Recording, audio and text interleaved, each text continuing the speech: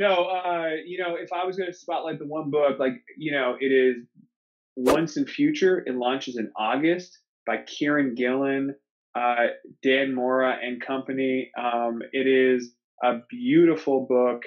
Uh, you know, you know, Kieron, you know Dan Mora's track record, right?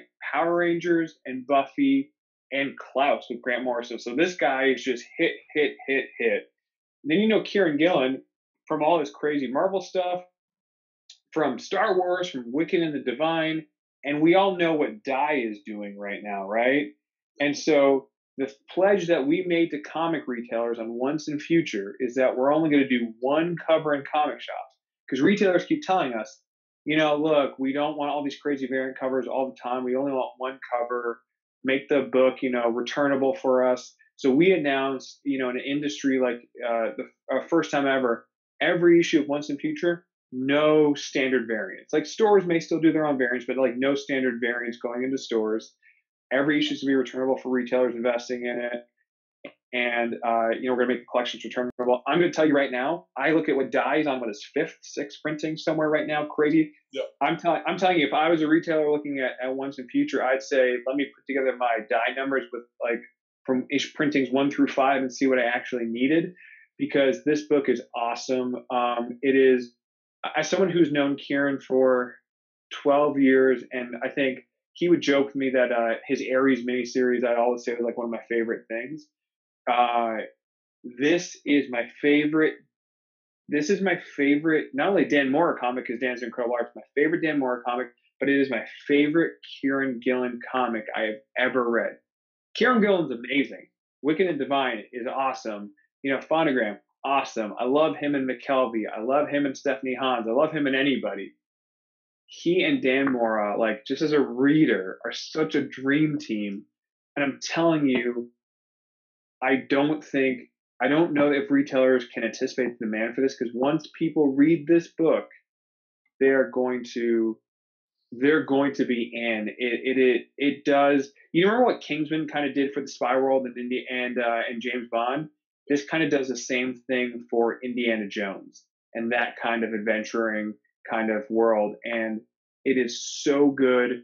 And um, my kind of bolo, if you want to call it this, is if you're really excited about uh, Once and Future, you're a big Kieron Gillen fan, make sure you come to the Boom Studios Discover Yours panel uh, at Comic Con. I can't remember if we're allowed to announce the date and time quite yet, but we have a panel.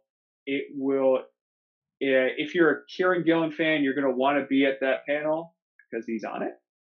But if you are interested in Once and Future or and you like walking away from panels with something that no one else will ever get.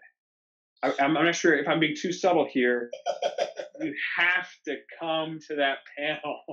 Oh, I you have. To.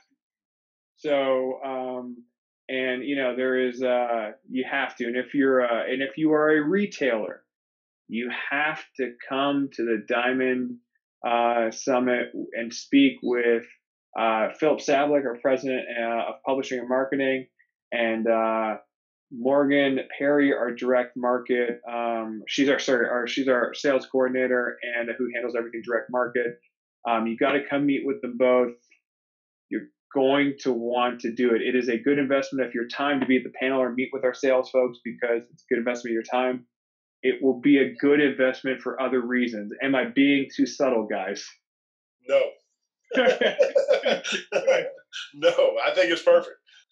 be there because what will happen is these wonderful gentlemen here who may or may not be. Are you guys at San Diego? I am not, unfortunately. I'm East Coast, so I'm, uh, that's a long trip. Anybody, Jack? You there? Uh, yeah, no, I won't be at San Diego okay. this year. So you can be Brian, Jack, and Andy and be boloing for something that you're not going to have, or you can be at San Diego and come to that panel and get to rub it in Brian Jack's, and Andy's faces. And if you do, tag me on Twitter. I'll retweet it to rub it in the face. oh man, yeah, that's that's a dirty move. That's a dirty move. guys, guys, hotels are only eleven hundred dollars a night at San Diego right now. Come on.